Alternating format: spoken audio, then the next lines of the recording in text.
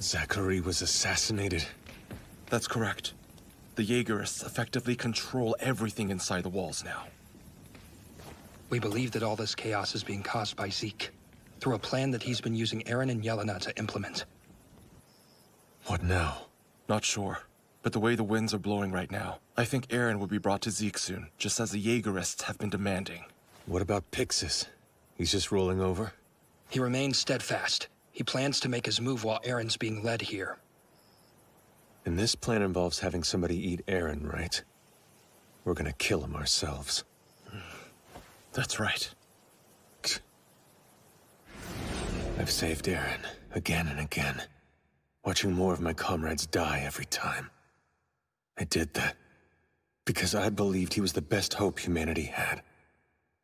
And this, this is where that belief has gotten me. It's like I'm at the punchline of some awful joke. What the hell became of the hope we all looked towards? All that struggle, all that death. For this farce. Such bullshit. It's not even funny. The piece of shit we need to feed to a Titan is right beneath us.